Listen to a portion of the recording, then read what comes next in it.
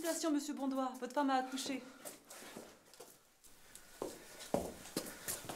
Comment vous portez-vous? Épuisée, mais heureuse. Je vous présente votre fils. Je me presse d'officialiser la naissance de notre petit Bondois. Ah, Bondois? Seulement votre nom? Mais c'est notre fils à tous les deux. Pensez à ma famille, à mon nom. Ne devrait-il pas être transmis également?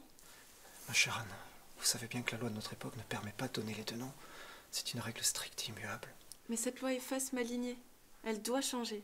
Mon amour, pour vous, je traverserai les siècles, afin que notre fils puisse porter l'héritage des deux familles qui l'ont engendré.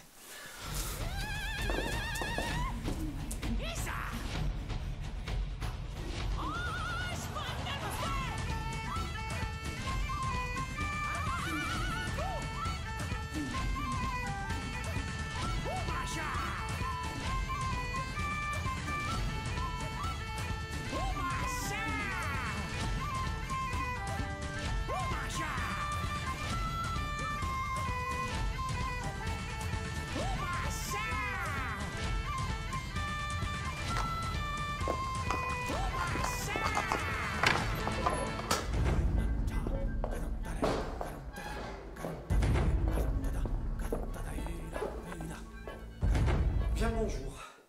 Je viens inscrire mon fils dans les registres de naissance. Bien le bonjour, monsieur. Euh, les registres, oui. Votre nom est? Bondois. Mais vous ne me demandez pas le nom de sa mère. C'est le nom du père qui est enregistré par défaut. J'ai parcouru le siècle pour pouvoir mettre les deux noms. La loi existe, n'est-ce pas? Ah, en effet.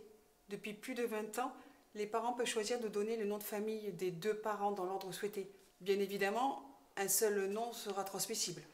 Parbleu Notre enfant portera les deux noms. Deux parents, deux noms.